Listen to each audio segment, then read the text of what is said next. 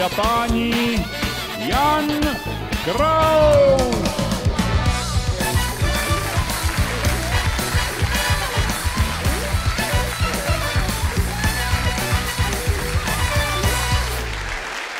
Dobrý večer, děkuji. Dobrý večer.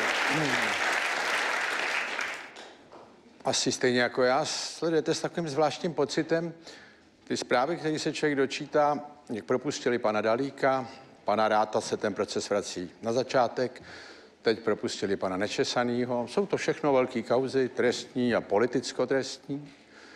A samozřejmě jsem si všiml, že ta reakce je obecně jako, že je to nespravedlivý, protože jsou vinní, ale oni třeba nejsou vinní. Chraň pán Bůh, že bych já chtěl posuzovat, jestli někdo z nich je vinen nebo není. Od toho jsou ty soudy a policie, ale bohužel to funguje tak, že policie to pracně vyšetřuje, pak to soudy posoudějí, rozhodnou a odsoudějí a pak přijde ten nejvyšší soud nebo nějaká vrchní instance a řekne okamžitě propustit. To je strašná zpráva. To znamená, že i kdyby byli vinní a propouštěli je, nebo byli nevinní, nedej bože, to by bylo ještě horší, a byli nespravedlivě odsouzení, každopádně strašná zpráva o české justici. K tomu se ty soudce ještě procházejí na nějakých večírcích, kdy se scházejí s těma advokátama těch, co zastupují v rámci velkých kaus ty lidi, který oni pak soudí a ty soudci se posmívají, říkají, jsme malá země, tady se všichni potkáváme na večírcích, ale na justici stojí stát.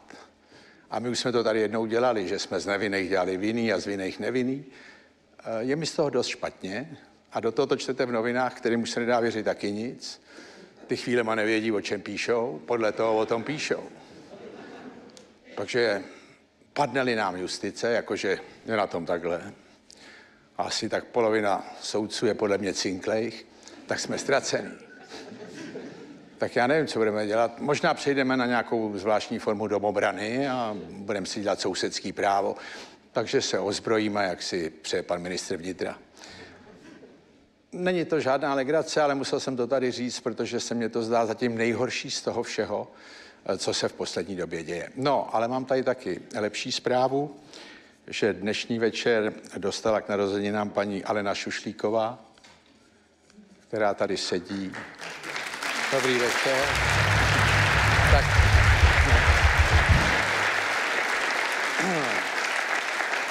Všechno nejlepší, paní Šušlíková. Dostala jste krásný dárek. Uvidíme, jaký.